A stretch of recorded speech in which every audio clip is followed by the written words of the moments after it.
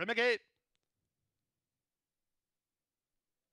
And runners away.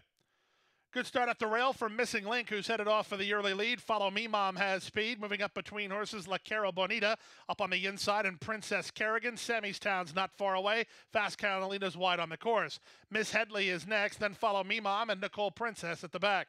They leave the backstretch and move on to the far turn. The daughter of Kantharos, missing link, front and center, and two lengths on top. La Cara Bonita is second at the rail. Sammy's Town third. Three wide and fast. Catalina, Follow Me Mom, moves into fifth. A gap of two to include the Beast, then Princess Kerrigan and Miss Headley as they run to the top of the stretch. With her ears up, missing link turns for home on top by two. Second, Sammy's Town. La Cara Bonita next. Down the center, fast Catalina. Up the rail, Princess Kerrigan. There's an eighth of a mile to go. Armio and missing link still the target target. Lifting up on the outside, Sammy's Town tries to make a late impression. Missing Link close to home on a clear lead. Missing Link, gate two, wire. Sammy's Town second, La Cara Bonita third. I think it's Follow Me Mom in a picture for fourth over Princess Kerrigan in 56 and 3.